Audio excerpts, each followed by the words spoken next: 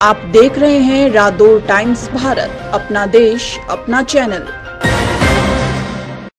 NGT के नियमों के विरुद्ध यमुना नदी में बाँध बनाकर किए जा रहे कार्यों की लगातार मिल रही शिकायतों की जाँच के लिए एनजीटी मॉनिटरिंग कमेटी सदस्य स्वामी संपूर्णानंद सरस्वती ने जठलाना व गुमथलक के खनन क्षेत्र का दौरा किया। इस दौरान उन्होंने खनन क्षेत्र में नियमों के विपरीत हो रही कार्यों की जाँच की, जिसकी रिपोर्ट एनजीटी को सौंपी जाएगी। एनजीटी के दौरे की सूचना जैसे ही खनन एजेंसियों को मिली तो सभी घाटों पर हड़कंप मच गया और खनन कार्य को बंद कर कर्मचारी मौके से फरार हो गए।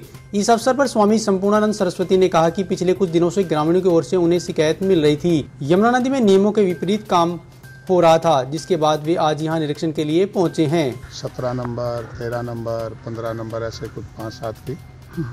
ये शिकायत थी कि ये बीच में बाँध बना करके यमुना का जो पानी का नेचुरल एक फ्लो है उसको चेंज करके और अपने इलीगल ढंग से जो कि नेशनल ग्रीन ट्रिब्यूनल के नियमों के विरुद्ध है। ऐसे फ्लो चेंज करना और प्रवाह को बदल करके फिर खुदाई करना। तो ऐसे गाँव वासियों की तरफ़ से भी कुछ शिकायत। थी तो मैं नेशनल ग्रीन ट्रिब्यूनल की जो यमुना मॉनिटरिंग कमेटी है तो उसका ग्रीन ट्रिब्यूनल के द्वारा अपॉइंटेड वॉल्टियर मेंबर हूँ। हाँ वो मिले हैं। कौन कौन मिले थे? हाँ, हर साइट पे है जो जो हमने देखा। किसी पे छोटा किसी पे बड़ा तो रिपोर्ट जाएगी उसकी। जठराना व गुमथला क्षेत्र में हो रहे खनन कार्यों को लेकर ग्रामीण कई बार चिंता व्यक्त कर चुके हैं लेकिन हर बार मामले में कोई सख्त कार्रवाई न होने के कारण खनन एजेंसियों के हौसले बुलंद हैं। एनजीटी की एक टीम आई है उसने निरीक्षण किया है ड्रोन से भी किया है। और वहाँ पर जो है बाँध मिले हैं गैर कानूनी तरीके से खनन होता मिला है। उन्होंने खुद कहा है, मैंने सुना है उनकी बाइट में कि भी यहाँ सभी घाटों में गैर कानूनी तरीके से जो ये बने हुए थे बाँध वगैरह।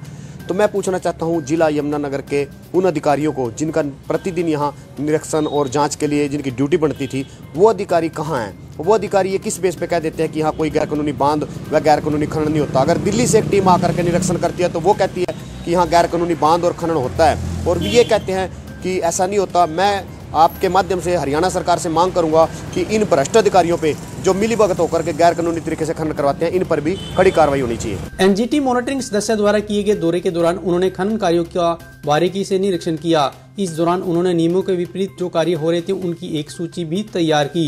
बताया जा रहा है कि जल्द ही एनजीटी मामले को लेकर एक बड़ी कार्रवाई करेगी, जिससे खनन एजेंसियों में हड़कंप मचा हुआ है। ब्यूरो रिपोर्ट रादो टाइम्स, भारत।